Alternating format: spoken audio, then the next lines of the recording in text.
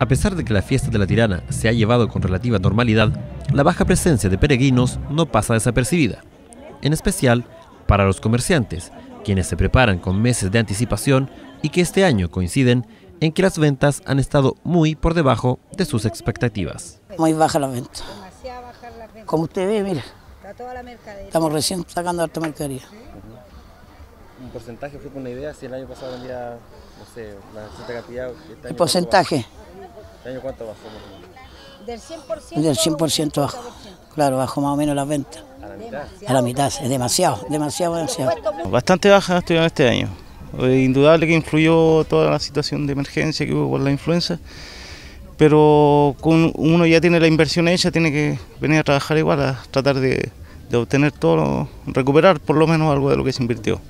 Para los feriantes, el llamado de la autoridad a no asistir a la fiesta de la tirana terminó por espantar a mucha gente.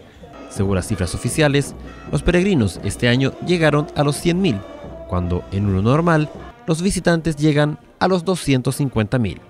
Mucha gente que a veces no subió porque no hayan vacuna. Entonces yo creo que eso, porque yo vengo de Valparaíso y vengo vacunada allá. Ya.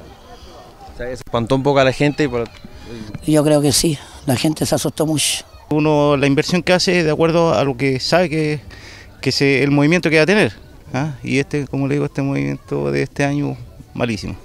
En comparación con el año pasado, ¿cuánto bajó en porcentaje, por ejemplo? Eh, menos de la mitad. Menos de la mitad de, lo que, de, de las ventas. Para estos comerciantes, las cuentas no fueron alegres, ya que sumado al tema de la influenza, se dio el aumento en el valor de los puestos. Todos los años va subiendo un poco, si bien ahora la infraestructura es mucho mejor que años anteriores, cuando uno tenía que venir a traer sus palos, que se armar, ahora la, la, estructura es muy buena, pero el valor sube y, las ventas bajan. O sea, uno como comerciante que uno trabaja en esto, uno no, no puede descartarlo porque es su, el medio de ingreso que tenemos. Aparte de que el pago de IVA, el flete, los gastos de comida y, y así va sumando uno, uno con otro. Sin embargo, al parecer no a todos les fue tan mal, como a doña Olga, quien lleva 40 años vendiendo los tradicionales pululos. Sí, se vendió, pero no tanto, digamos, pero se vendió. Ya. Se defendió. ¿Menos que el año pasado? Sí, bueno, al menos yo vendí igual que el año pasado. Ah, ya, no, no, Sí. no le fue tan mal. No, no, no, no. Ya. Porque en general la gente se ha estado quejando que por la baja asistencia de gente se, se vendió mucho. Es que yo siempre traigo calculadito, así que yo vendo lo justito nomás, no traigo de más tampoco.